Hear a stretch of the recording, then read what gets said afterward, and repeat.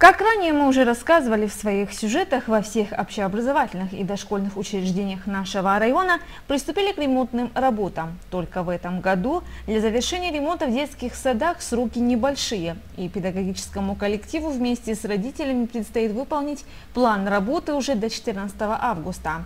Первым мы посетили детский сад села Натырбова. Здесь начали покраску с уличных работ.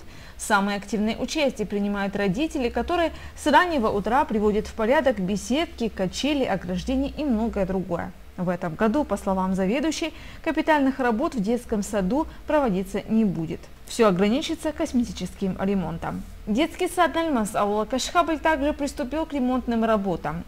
Здесь сплоченный коллектив при активном участии родителей также проводит работы покрасочные и, конечно же, генеральную уборку групп.